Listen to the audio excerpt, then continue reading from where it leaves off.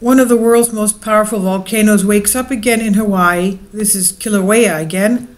Kilauea last erupted in 2018. It destroyed hundreds of homes, left dozens of people injured.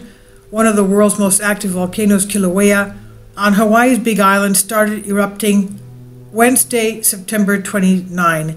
The eruption uh, detected by the Kilauea Halimamau crater, Halemaumau, uh, there's various ways to uh, pronounce that, located in Hawaii's Volcanoes National Park, according to the U.S. Geological Survey report. The activity, of course, is being closely monitored uh, by the Hawaii Volcano Observatory, by authorities, uh, but currently is not enough to present any threats to homes. And we will do more on that uh, later on. We're, we're going to go into the uh, details of what is going on there with the magma buildup. The webcam images provided by USGS shows a view of the eruption that began in the Halemaumau crater at the summit of Hawaii's Kilauea volcano September 29. That was Wednesday. The lava surfacing in the Halemaumau crater, images of course provided by USGS, and uh, bubbling uh, lava in the volcano in Hawaii.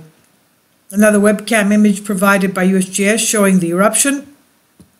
More lava, more heat, more steam, and of course it's hot.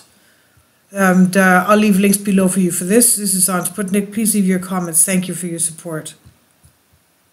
Please support my Patreon account since YouTube has again demonetized my YouTube channel. The daily posts are five videos daily and they are totally different from what I have on my YouTube channel. Thank you so much for your support and that you find all my content so interesting. You'll find the Patreon account details in the description box below.